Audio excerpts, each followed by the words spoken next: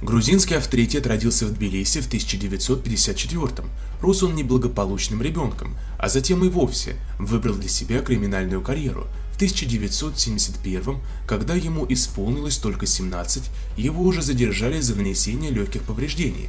Примерно в это же время его короновали трое уважаемых законников – интеллигент, Культяпы и Сарик Авлабарский – 1974 Диак Венишвили был осужден армянским судом за разбой на 5 лет.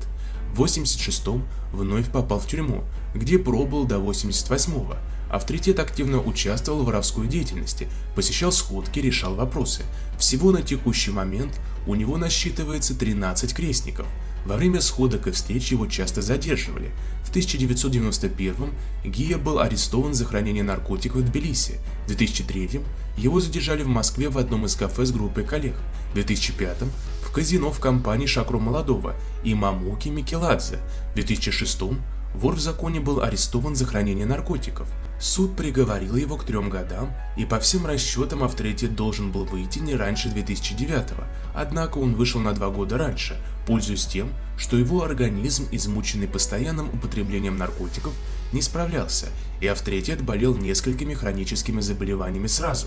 Вор в законе поддерживал клан деда Хасана. Он поставил свою подпись в 2009 под прогоном о лишении титула Тариэла Аниани, Тару, давнего противника Усаяна – в 2013 Гия был вновь арестован, при нем нашли наркотики. Суд авторитет заявился в инвалидной коляске, что не могло не произвести впечатления на судью.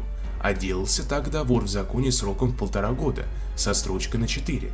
Гия длинно считается одним из самых влиятельных грузинских законников, проживающих в российской столице. Его хорошо знают и уважают как славянские авторитеты, так и его собственные соотечественники.